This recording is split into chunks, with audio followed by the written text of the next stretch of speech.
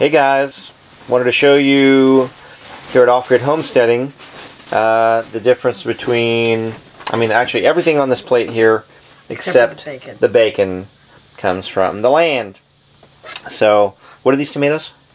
Um, these are Versage, and this is Paul Robeson. Okay. This is a chicken egg, as you can see there. And this is a duck egg right here. Mmm. You can see the difference there. So, a lot creamier. Look at that. A lot creamier. Hold on, let me get that. Mmm. Into my mouth compared to um, the duck yolk. Chicken. Oh, sorry, chicken egg. So, chicken and duck. And like I said, And we're partial Um, to duck.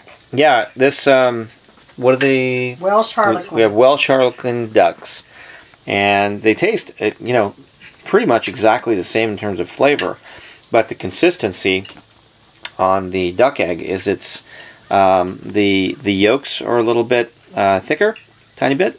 Uh, I mean, and silky. yeah, they're creamy and silky compared to what almost seems like runny um, chicken eggs.